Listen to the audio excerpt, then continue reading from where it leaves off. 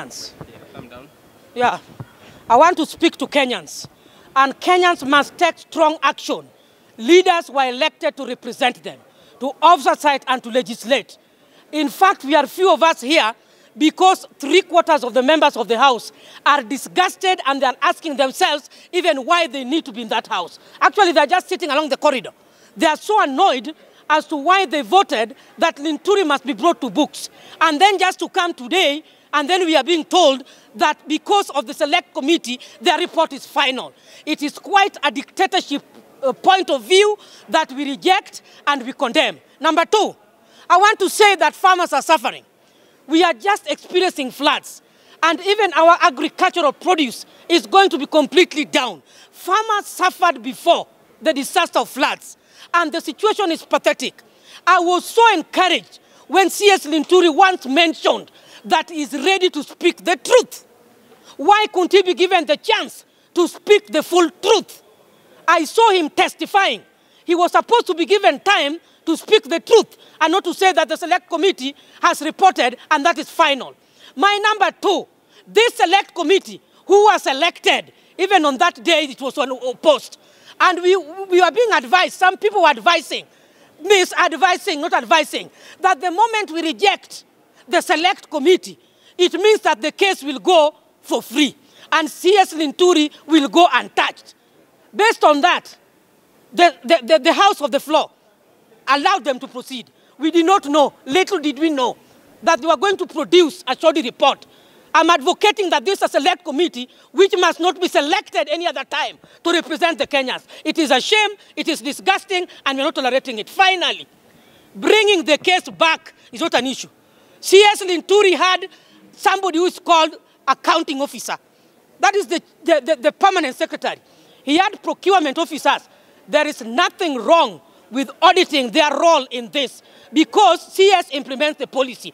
If he failed in taking charge of implementing the policy and looking into the methodology and the framework of ensuring that the farmer gets the fertilizer, on that case he failed.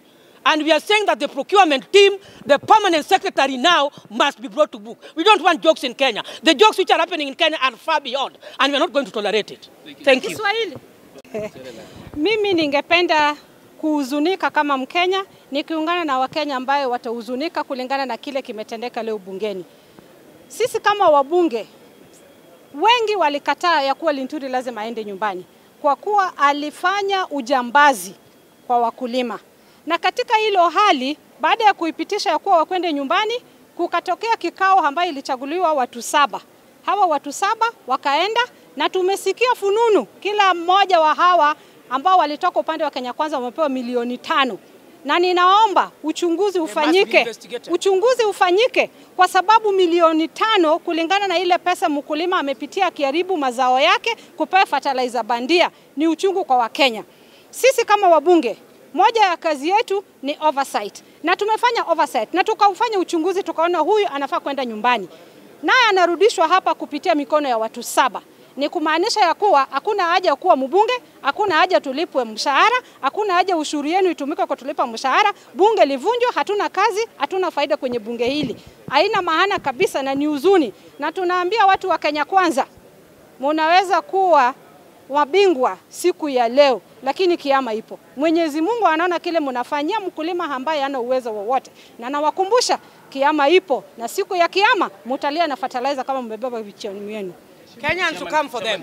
Kenyans to come Chairman. for the select committee. Chairman, First of all, I'm one person who believes that um, the Constitution should not be read selectively. The Select Committee of 11 is actually a committee of the whole of the House. It's a creation of the House.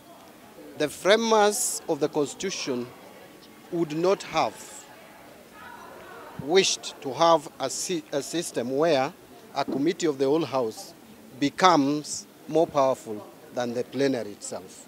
And so I believe that the report of the committee must be the report of the House.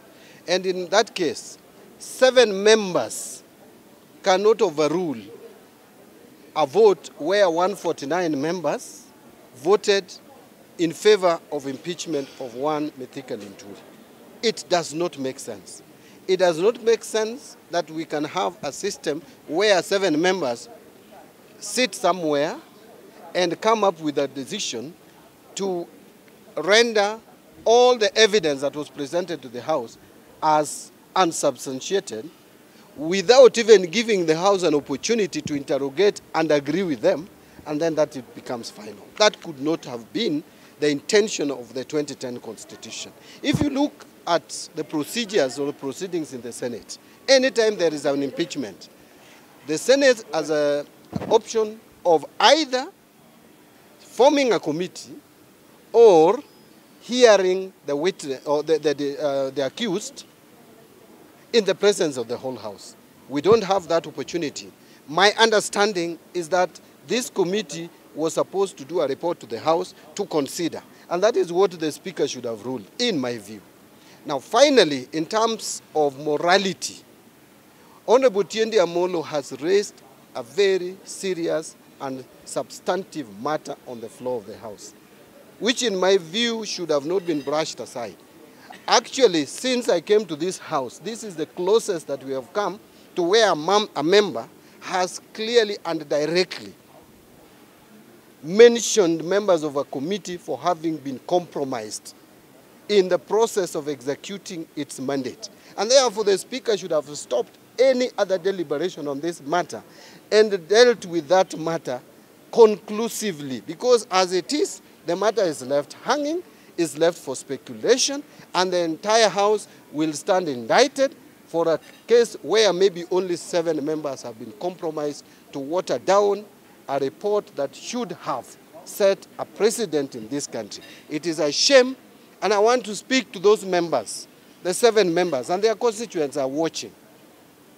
This fake fertilizer that was supplied across the country went to almost all constituencies.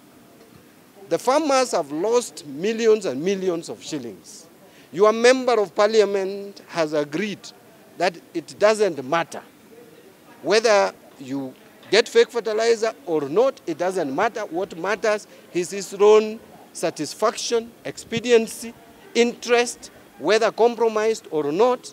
It is a shame, and those members of parliament who have exonerated Linturi, the electorate should be watching and should deal with them. Exactly. Finally, I want to ask that this matter should not end At today. this elect him as what elect We must again have this process restarted. I have heard people say that it should that that, the, that we will not have it again. No, there is nothing in law that Exactly. stops us from restarting the process of removing